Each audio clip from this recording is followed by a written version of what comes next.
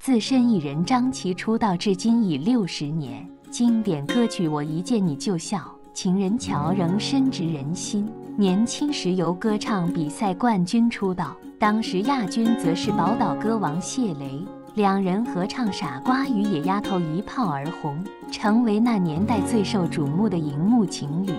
张琪身世坎坷，一出生就被领养，他的前半生可谓是十分坎坷。张琪一出生就被送给了当时无子女的养父张文伟，不料养父染上毒瘾，使得家庭变成一贫如洗。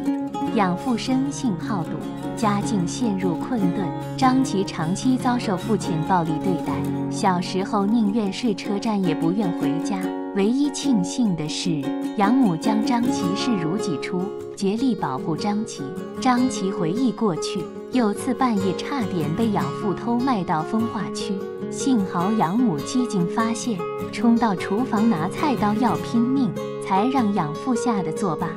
所以为了贴补家用，小小年纪就帮忙卖臭豆腐、挑鸡粪，甚至洗圣母院的圣袍洗到手指变形。弟弟妹妹出生后，张琪开始被养父疏远，甚至拳脚相加。养母不忍张琪被毒打。带着张琪打算跳河轻生，还好被弟弟妹妹发现。后来养父因为赌博输光家产，将张琪以新台币四千元的价格卖给非法组织，还好养母立足而幸免。虽然年幼时他历经坎坷，但是却仍能积极乐观，充满正能量，实属不易。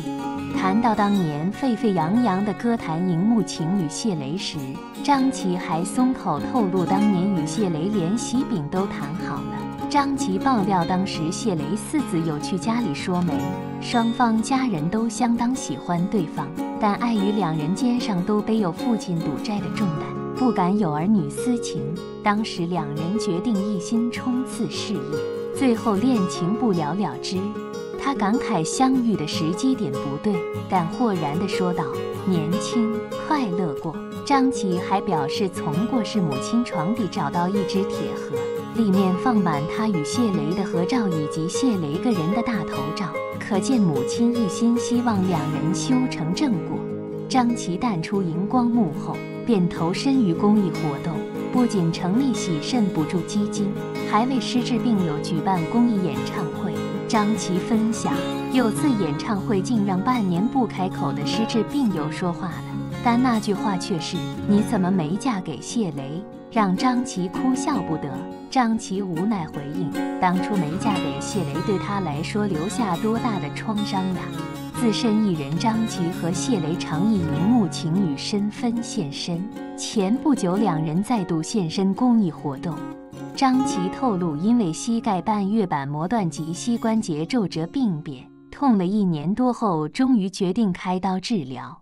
张琪表示，因为半月板磨断，不止难以行走，连晚上睡觉只要动到就会痛醒。但因为需要奔走公益，他决定双脚同时动刀。医生一开始说一个月就要回诊一次，但因为我到处跑，左边的膝盖恢复得比较慢。直到后来，还从膝盖里抽出一百 cc 的血水。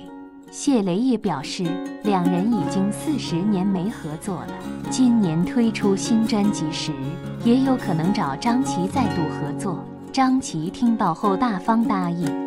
张琪的巅峰期是与谢雷合唱了《傻瓜与野丫头》，而歌迷也一直认为两人私下也处于热恋。然而在此期间，张琪却爆发倒嗓危机。于是张琪减少曝光。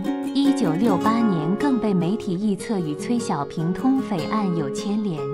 张琪倒嗓期间，谢雷曾认真考虑与张琪假戏真做成为夫妻，但张琪因在一九六九年与幼时北投邻居、国小同学的哥哥杨敬晨在香港重逢而燃起爱苗并结婚。杨敬晨随同张琪回台湾工作。杨敬晨回到台湾。却正逢电影业不景气，曾经整整两年没有电影可拍，家计全靠张琪维持。两人也因吵架摩擦渐生分歧。一九七八年五月，杨敬晨与张琪协议离婚，但因共育有一对儿女，所以不过几个月后又再度结婚。但在婚后不久，又因大吵二度离婚。直到一九八六年，由子女居中牵线，两人再次同居。四年后，张琪再嫁给杨敬晨，迄今。张琪与副导演杨敬晨二度离婚，三度结婚。提到再婚话题时，他笑说：“我没有换人呢。”被一旁同样再婚的张秀清亏好无聊，他则淡淡的说：“人都有惯性。”一九八九年，张琪被南山人寿一位保险员相中，于是以本名张友琴加入南山人寿，转职投身保险业。仅用三年，张琪即从周遭有人不被看好的艺人中年转行，成为年薪新台币数百万元的欧经理。张琪幼时由张琴父母领养，虽无血缘关系，但两人情同姊妹。张琴甚至说比亲姊妹还亲。据报道，姊妹俩出道超过四十年，但已将近四十年未在荧幕上同台演唱。张琪一九六四年出道，走红后领着妹妹张琴进入演艺圈，但当时家中负债累累，两人都相当节省。张琪形容自己喝杯咖啡会用掉店家一整罐奶精当奶粉再喝，让店家老板吓歪。只要看到他光顾，都会先把奶精挖一半出来。张琪更挖苦谢雷，当年也是省钱一哥，连五毛钱车资都要跟他计较。一句明天给我，让张琪记忆犹新。张琴则谈起刚出道时的省钱秘招。当年去面摊吃面时，为了增加饱足感，会加入大量的免费酸菜。张琪爆料妹妹是整罐吃完。张琪还表示，张琴九岁时因为尿毒送医，出现瞳孔放大且脱肛的状况，医生要妈妈直接去准备棺材，救活了可能脑袋也坏了。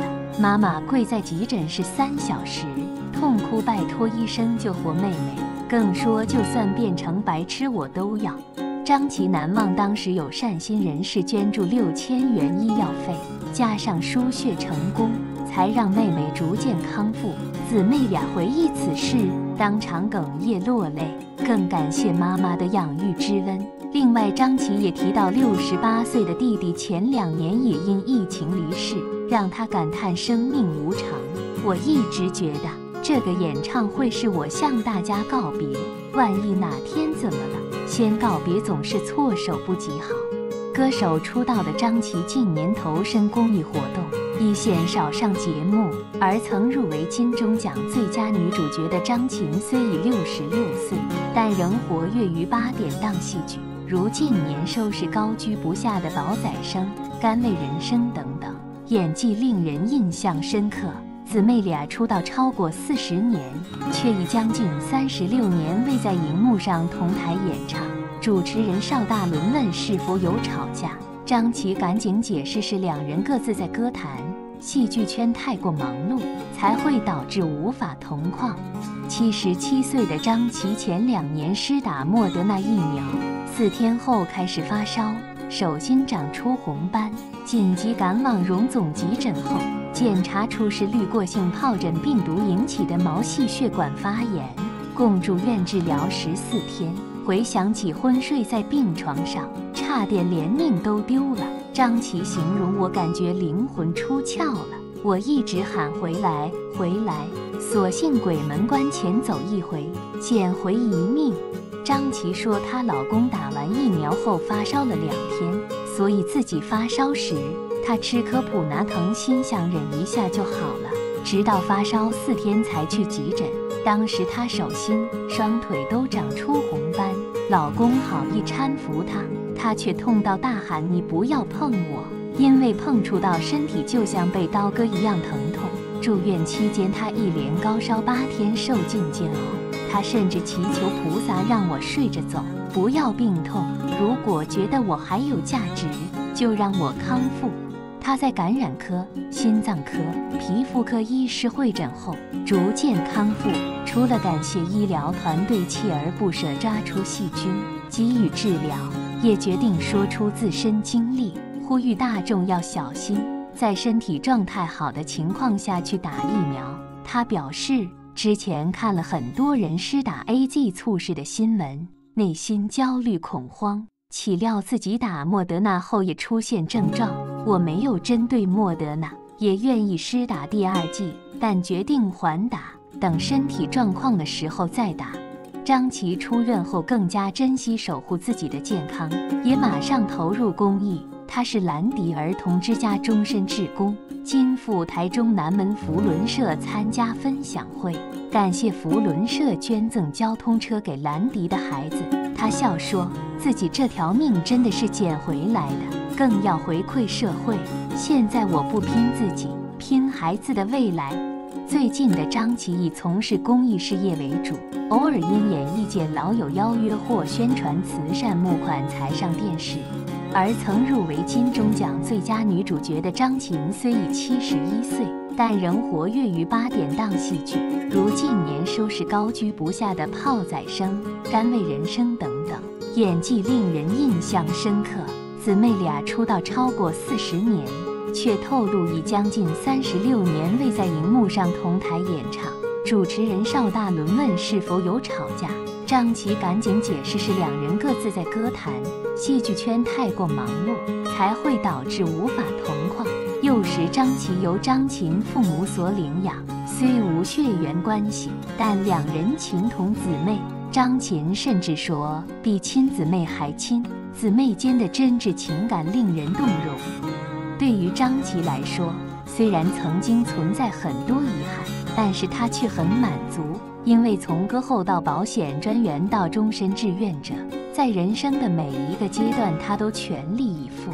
他不断的学习，使自己的生命更有重量、更有价值，努力的把生活的忙碌变成了一种快乐。祝愿她们姐妹二人能事事顺心，身体健康。